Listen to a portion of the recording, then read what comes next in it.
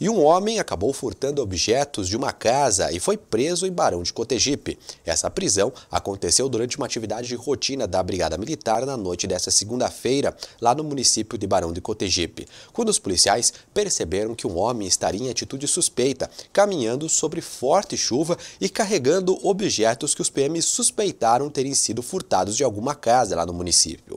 Ao ser abordado, o mesmo confirmou o furto de uma casa na rua Antônio Dalmer.